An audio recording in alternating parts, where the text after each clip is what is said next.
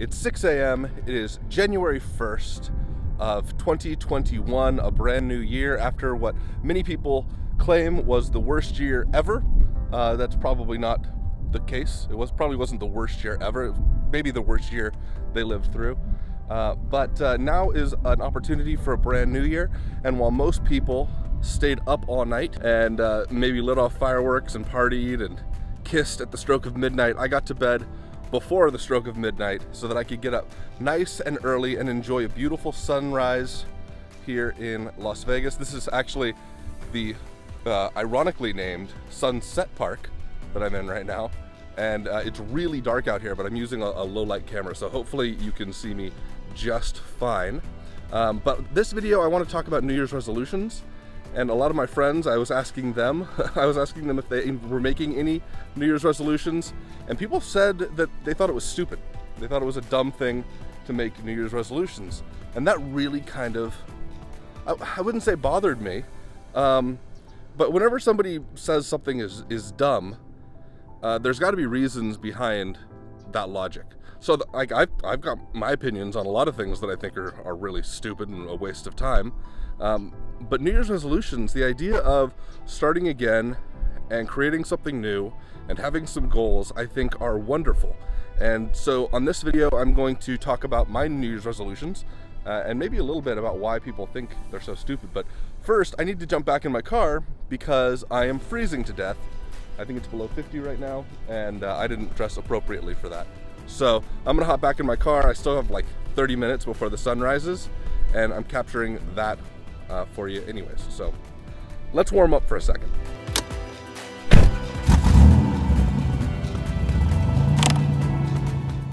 This is so much better. So why are New Year's resolutions a joke? Uh, New Year's resolutions are basically just goals. And goals shouldn't be a joke. Goals are super useful. In fact, they they seem to make things work for most successful people.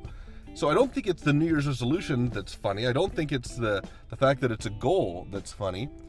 Uh, I think what it is is that most people fail when they set their New Year's resolutions. And I guess there's something funny in failure. People like to watch other people get hit in the crotch and uh, and other weird uh, things like that, like watching people fall. It's not my thing. It's not my bag of tea. Um, but that's what a lot of people are into. But when I think of failure, I think of people like like Walt Disney, who was fired as a uh, was fired from a newspaper uh, because he lacked imagination, and then his first animation company went under. He failed at that, and the guy was surviving on dog food. At least that's what was reported at the time. I think of people like him, um, or Stephen King, who wrote the incredible book Carrie, and he went to like 30 publishers. They all rejected him, and he ended up throwing it in the trash, and his wife got it out of the trash, and he kept going. He just kept persisting despite the idea that he didn't want to continue. Eminem. Eminem dropped out of high school, dealt with poverty issues and drug issues, and failed at even committing suicide. Like, failures all around us all the time. Don't get me started on Abraham Lincoln or Oprah. Uh, my, Michael Jordan got cut from his high school basketball team. If you want to find failure, the only place you need to look is at the most successful people. The most successful people have usually dealt with failure more than anybody else. Failure is probably a greater sign of success than the success itself. They all just had two things in common that they had an initial intention that they stuck to. Initial intention is number one, sticking to it, number two. If you have those two things in place and you just don't give up, you stick to that initial intention, you don't give up, you keep iterating, eventually you're going to succeed. And so New Year's seems to be a great opportunity to iterate. If you've had a goal that you're not willing to give up on and you're willing to strive through it and push on, persevere, maybe this is a great time to try a new approach on achieving that that goal. This is my tradition. I like to come out and watch the sunrise. It hasn't risen yet, but um, it's on its way. And some traditions are absolutely stupid. Uh, gender reveal parties. I think are dumb, and apparently they just light forest fires. That's that's their thing, I guess. The running of the bulls, not a great tradition, not a good idea. Uh, blowing out uh, birthday candles on a cake in the era of COVID, uh, probably not the best way to keep everybody healthy. So there are traditions that I think are really, really dumb, but this tradition I think is wonderful. This tradition is all about starting over, creating something new, uh, iterating on what you did before. Uh, in Neil Strauss's book, The Game, he talks about they would use this video game mentality of every time they faced rejection, they just thought of it as hitting the reset button on a video game and starting that level over again. And I think that's a wonderful way of looking at life and getting over this blockage that we have that if we fail once, we're going to be viewed by everybody else as, as a failure forever. Failure is just going to be a natural thing of it and you might as well push through it. So here's here's my new year's resolutions. Here's what i'm going to be focusing on. I'm going to be focusing on creating a YouTube channel. And I've got little sub goals within that. So, like the first goal I've got is I need to get a thousand followers. And if you want to help me out with that, hit the subscribe button because that's the first little milestone that I'm trying to get to. If I get a thousand followers and 4,000 hours of watch time, uh, I become eligible for a bunch of other things within YouTube. So that's going to be the first goal, and I'm going to be I'm going to try and control that by uh, every single week, I'm going to be putting out two videos. They're all going to be based around living a life of greater freedom, greater liberty, uh, greater autonomy, personal autonomy. So it's all about taking control of your own life. So that's what the channel is going to be about.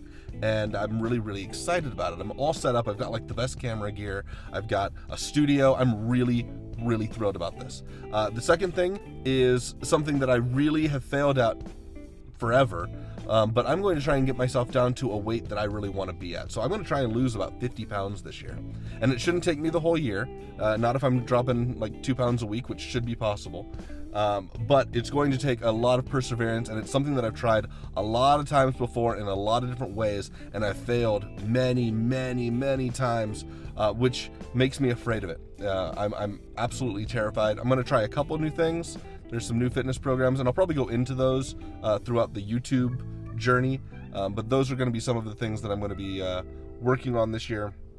I've got some other things like um, once I drop that weight, I want to get a brand new wardrobe. I dress like a slob, you know. Uh, I've got old clothes because I'm embarrassed of going out there and buying clothes that are a bigger size than I want to buy, and I don't really like the way I look right now. So I'm going to work on that once I accomplish the first goal or the second goal of losing some weight. I also want to increase my passive income. Uh, passive income's like the special income for me. It's uh, it it's the money that you earn while you sleep. And so that's the best kind of money, but it's also the hardest kind to find. And so I'm fortunate enough to to have uh, quite a bit of passive income in my life, and I want to increase that by just $500. That's it. It's not a lot of money, um, but uh, but $500 of passive income, um, not per month, just per year, maybe per month. Wouldn't that be amazing? If I could increase it by $500 per month, that's what I'm setting it at. Let's do a goal that scares me a little bit. If the goal is so small that it doesn't scare you, then uh, then it's probably not worth making. So I'm going to try and increase my passive income by $500 per month at some point during this year and make that a maintained, ongoing thing. So I'll just have another $500 every month in my pocket uh, to give myself a little bit more freedom, a little bit more liberty.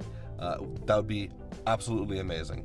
So those are those are going to be my New Year's resolutions. You can hold me to them, although they say you're not supposed to tell people your goals. And the reason for that is when you tell somebody your goals, it releases a little bit of dopamine in your brain, a little bit of serotonin. You get these endorphins, and it basically makes you feel like you've accomplished that goal. So oftentimes you don't go out and achieve the goal that you set because you told everybody what the plan was. Uh, on the other hand, by telling people what the plan is, it holds you accountable to achieving that plan. So I don't know if there's a right or a wrong way, whether you should be telling people your goals or whether you shouldn't be. Uh, I think generally you probably shouldn't tell people your goals. People generally achieve their goals better when they're a secret. Uh, and I'm sharing them because I think they're pertinent to this YouTube video that I'm creating, this channel, this new beginning, and uh, and I want you to know what I'm trying to do. And because if I achieve those, when I achieve those, better frame of mind, when I achieve those, uh, I'll get to look back at this and and think, wow, I set those right there, and I knocked down those dominoes that I set up, and that'll make me feel really, really proud. Um, and I look forward to that. So that's a nice little reward on that journey. So uh, the sun is about to uh, crest over that horizon, and I want to be there when it happens. So I'm going to go take a look at that.